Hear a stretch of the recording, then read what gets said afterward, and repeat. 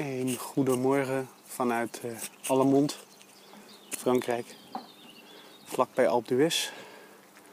Uh, de berg die we hier zien met de skilift er bovenop is, uh, is dus de verschrikkelijke Alpe d'Huez, maar niet de beklimming.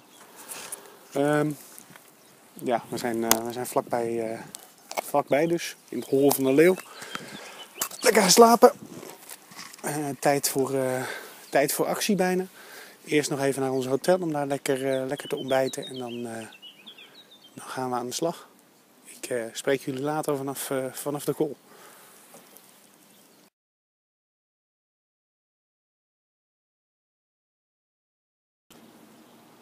Ja, daar staan we dan. In Boerk. Onderaan de Alpe d'Huez. Van hieruit 13 kilometer omhoog. 22 bochten. Ik heb er zin in, maar ik ben er ook bang voor. Maar uh, het gaat vast goed komen. Ik, uh, ik zie jullie later. Hoi. Een mens moet ook genieten onderweg. Dat is wel duidelijk. Dat is bocht 11. Die ben ik. Uh, sorry als ik jullie misselijk maak. Dat is dus achter mij bocht 11 ben ik zojuist gepasseerd. Dus zeg maar ongeveer uh, de helft van de berg gehad.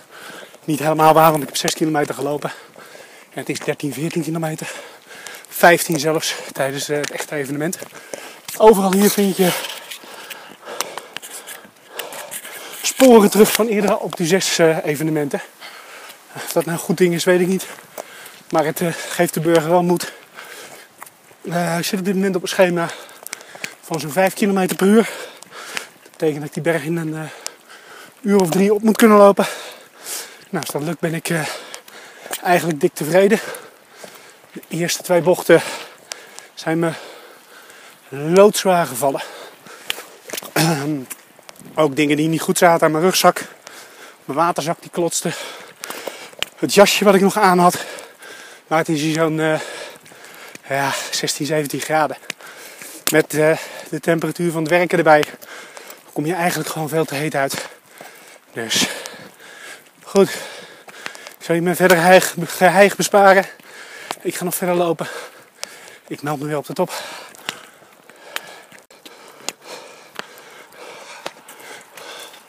In de woorden hey, van de onsterfelijke Meatloaf. Holy cow, I think I'm gonna make it. Bocht 1. Bijna bij de top. De bocht 0, de Bas bocht nog. En dan is het zover.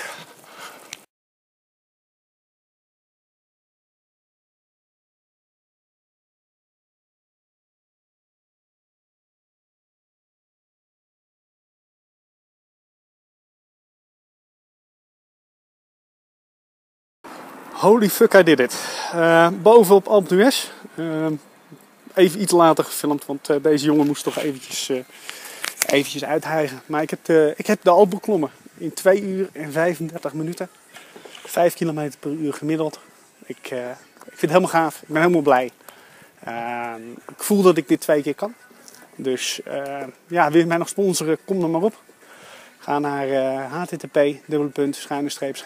frank.sbpad6.nl en klik op steun mij. Daar komt u op mijn sponsorpagina van, uh, van opgeven is geen optie. En daar kunt u, uh, kunt u mij per klim of vooraf uh, met een vast bedrag sponsoren. Alvast bedankt.